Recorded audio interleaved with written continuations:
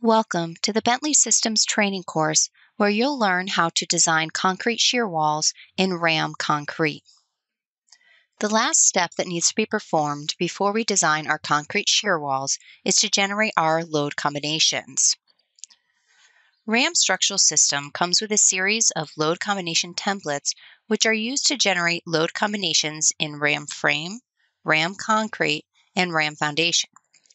Custom load combinations can also be created manually or through the load combination templates. In the RAM Concrete Shear Wall module, we will find our Combinations menu, where we can generate automatically load combinations or prepare custom load combinations.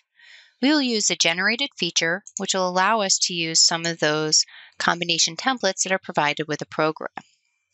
The first thing we do is we select our combination code.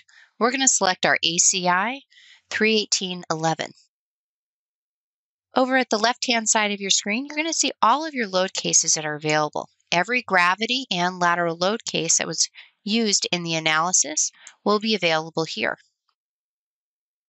Next, we can enter our live load factor. This would be typically 0.5 or 1.0, depending upon the usage of your structure for this code and we'll go ahead and leave that set to 0.5.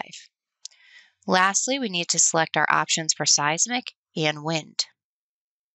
Once all of your parameters at the top of your dialog are set, click on your Generate button to generate your full list of load combinations, which will be used in the design of your concrete shear walls.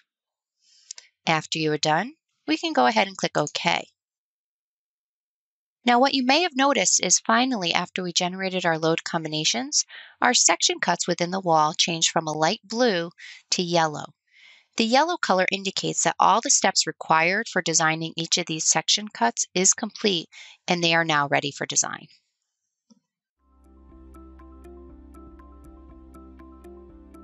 If you found this video helpful, please give it a like. If you want to see more such series, consider subscribing to our channel. Thank you and see you next time.